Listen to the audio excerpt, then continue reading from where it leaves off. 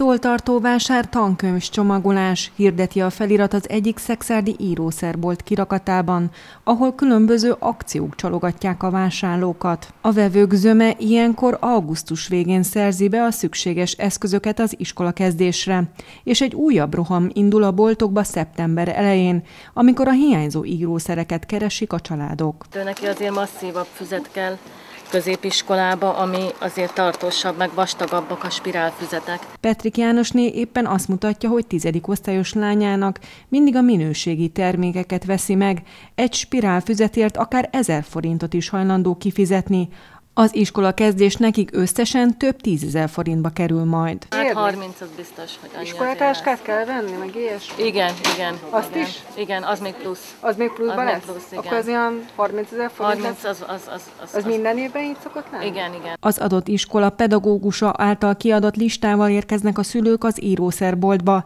Van olyan intézmény, ahol még az adott termék márkáját is megszabják a tanárok, mondja az írószerbolt vezetője hozzátéve, pénztárca függő, hogy ki mennyit költ az iskola kezdésre. Van kb. 14 ezer forintért is, és van 50 ezer forintért is, attól függ, hogy milyen táskát, milyen toltartót választanak.